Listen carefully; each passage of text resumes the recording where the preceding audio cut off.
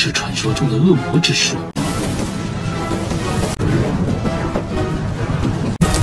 难逃一死，灭于火海。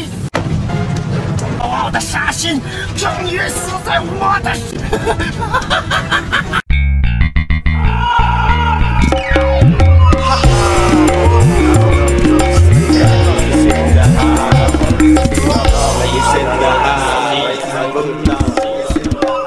Halo assalamualaikum teman-teman. Balik lagi di channel Purnomo Series. Gimana kabar kalian? Semoga selalu sehat dan baik-baik saja ya. Kali ini kita akan meneruskan merangkum Denghua Sisingji season 4 episode 12 ya guys. Dan karena filmnya belum tayang Seperti biasa untuk mengobati penasaran dengan keseruan petualangan Wukong di alam surga Maka kami akan merangkum alur cerita spoiler versi komiknya dulu ya guys. Dan gak usah berlama-lama lagi Langsung saja gas cuy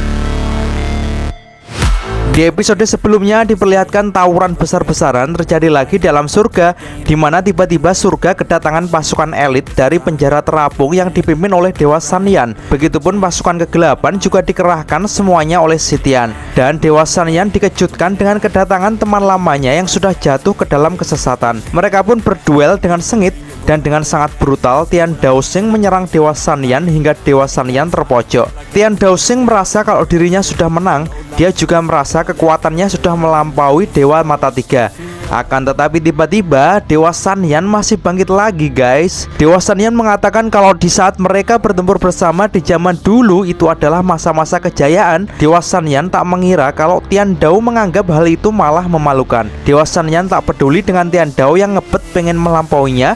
Yang Dewa Sanyan pedulikan adalah Dewa Sanyan hanya ingin melindungi saudara seperjuangannya. Tiba-tiba Dewa Sanyan teringat akan masa lalu. Dewa Sanyan sangat sedih ketika melihat teman-temannya tewas satu persatu itu padahal ia sangat ingin melindungi teman-temannya dan juga melindungi Tian Daosing. Tetapi sayang sekali Dewa Sanyan gagal dan dengan tatapan mata merah yang tajam Dewa Sanyan mengatakan kalau ia menyayangkan Tian Daosing yang sebentar lagi akan mengalami kematian lagi. Hal itu membuat Tian Dao tambah geram sehingga ia akan menyerang lagi. Akan tetapi tidak semudah itu, Dewa Sanyan yang merupakan jenderal terkuat dengan cepat menghindarinya. Dewa Sanyan juga sangat geram dengan sikap Tian Dao. Ia kemudian segera memanggil tombak saktinya. Dengan tegas, Jenderal Sanyan akan menegakkan hukum surga. Walaupun itu adalah teman lamanya Akan tetapi jika sudah mengikuti jalan kegelapan Mau tidak mau Jenderal Sanyan harus membunuhnya. Ia kemudian mengeluarkan serangan tombak yang dahsyat. Seketika keluar ledakan yang amat keras Yang membuat Tian Dao terpental guys. Tian Dao merasakan kalau kekuatan Dewa Sanyan meningkat pesat dan tak terbatas. Akan tetapi Tian Dao juga tidak mau kalah dan ia juga akan melepaskan serangan terkuatnya. Sedangkan Dewa Sanyan pun juga akan mengakhiri pertarungan ini dan berteriak, "Mati kau!" Di sisi lain, tampak Dewa Sasin dengan mudah menghabisi prajurit-prajurit kegelapan. Akan tetapi tiba-tiba Tian Gangsing tiba-tiba datang dan langsung menyerang Dewa Sasin. Untung saja dengan mudah Dewa Sasin bisa menghindar. Gangsing sangat ingin berduel dengan Sasin dan ia ingin merebut posisi Dewa Sasin sebagai dewa pelindung surga. Tetapi dengan santainya Dewa Sasin bisa menghindar dari serangan Gangsing yang bertubi-tubi. Hingga akhirnya Gangseng meningkatkan kekuatannya. Terlihat matanya keluar api berwarna merah muda Pertanda kekuatannya meningkat tajam. Ia langsung menyerang Dewa Sasin yang membuat Dewa Sasin pun kaget. Walaupun ia masih bisa menahan serangan tersebut Tetapi Dewa Sasin merasakan kekuatan Gangseng sangat kuat hingga ia terpukul mundur. Bahkan tak terasa ia sampai jatuh ke tanah. Sadar kalau sekarang ia terjatuh di tanah Dewa Sasin pun sangat kesal. Bukan karena apa-apa Dewa Sasin sangat jengkel ketika pakaiannya kotor seperti ini dan ia pun mencoba bangun lagi. Gangsing pun segera menghampiri Sasin. Ia juga geram dengan Dewa Sasin karena bajunya yang hanya sedikit kotor saja membuat ia sangat terganggu. Gak usah berlama-lama, Gangsing pun langsung mengeluarkan kekuatan terkuatnya, yaitu api penyucian Dewa Iblis. Seketika keluar tungku raksasa berbentuk wajah iblis yang mengeluarkan api yang sangat besar. Api tersebut dengan cepat menjalar mendekati Dewa Sasin, disusul dengan keluar pedang-pedang berwarna hitam yang siap menyantap Dewa Sasin. Melihat hal itu, Dewa Sasin sangat heran. Ia mengatakan kalau jurus ini teknik kuno yang berasal dari iblis kuno yang sangat legendaris. Gangsim pun tertawa sekaligus memuji pengetahuan Dewa Sasin. Tetapi yang belum diketahui Sasin adalah jurus dari iblis kuno tersebut sebenarnya juga ada di surga dan sekarang ia sudah bersemayam di dalam tubuh Tian Gangsing. Diceritakan beberapa tahun lalu saat Gangsing berada di penjara, saking lamanya ia pun lupa sudah berapa tahun ia di penjara, sampai suatu hari terlihat sosok iblis yang menyerupai api datang mendekat kepada Tian Gangsing dan ternyata itu adalah jurus iblis kuno. Tian Gangsing terlihat berbeda dari tahanan yang lain, pandangan matanya, jiwanya seolah-olah mencerminkan jiwa iblis sehingga jurus tersebut menghampiri dan masuk ke dalam tubuh Gangsing. Dan inilah yang dinamakan dengan jurus iblis kuno. Gangsing sangat percaya diri, ia kemudian mengarahkan pedang-pedang yang membara tersebut untuk segera menghabisi Dewa Sasin. Seketika api-api yang membara tersebut memadat menjadi bentuk pedang dan menghujam Dewa Sasin. Melihat Dewa Sasin sudah tak bisa ngapa-ngapain lagi, Guang Sing sangat senang dan tertawa terbahak-bahak guys. Ya sangat yakin kali ini Dewa Sasin sudah tak bisa kabur lagi dan hancur dengan serangan tersebut.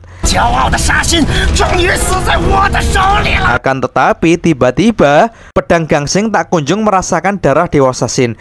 Bahkan pedang-pedang tersebut kembali ke arah tuannya. Gangsing pun kemudian menyuruh apinya untuk mengeluarkan lebih banyak api. Tetapi tetap saja bukannya api tersebut tambah besar Akan tetapi api tersebut berangsur-angsur melemah. Dan ter terlihat sosok Dewa Sasin yang masih utuh dan tak terluka sedikit pun. Dewa Sasin mengatakan kalau generasi dewa semakin kuat dari masa ke masa dan bahkan untuk menghancurkan jurus iblis kuno tersebut, Dewa Sasin tak perlu mengangkat tangannya. Pedang-pedang yang membara tersebut sudah kehilangan niat untuk melukai Dewa Sasin dan dengan santai Dewa Sasin menyuruh api-api tersebut nyah dari sisinya. Dan benar saja, api-api tersebut berangsur padam. Gangsing benar-benar kaget dibuatnya dan tiba-tiba tungku pembakaran yang ber berbentuk iblis itu pun hancur guys. Dengan santainya Dewa Sasin mengatakan kalau ia tak bangga bisa mengalahkan Tian Gangsing Tetapi ia hanya kesal dengan tangan kotor dan bau dari Gangsing yang sudah menyentuh tubuh Dewa Sasin Dan tiba-tiba ada pemandangan aneh dari langit guys. Dan Gangsing pun berteriak Iblis kuno aku datang dengan tersenyum kecut, Gangsing menceritakan kepada Dewa Sasin kalau Dewa Iblis kuno telah bangun dari tidurnya dan ia akan menghancurkan para dewa-dewa surga dan akan merubah alam surga menjadi alam surga kegelapan. Dan bersamaan dengan itu, para pasukan kegelapan tiba-tiba juga meninggalkan peperangan untuk menghadap sosok Dewa Iblis tersebut. Dan itu adalah pemimpin sejati surga kegelapan, sang raja surga pertama yang telah tertidur selama seribu tahun ini. Kira-kira bagaimana ya sosoknya guys? Apakah kehadirannya membuat alam surga berubah menjadi kegelapan seluruhnya? Dan dengan ini, Sising G Season 4 tamat guys. Duh, wah sayang sekali ya. Dan Mimin belum ada info nih season 5-nya kapan. Mudah-mudahan secepat mungkin. Oke teman-teman, terima kasih sudah nyimak alur cerita kali ini sampai habis. Semoga teman-teman terhibur. Jangan lupa terus dukung channel ini agar terus berkembang. Dan sampai jumpa di film selanjutnya. Assalamualaikum warahmatullahi wabarakatuh.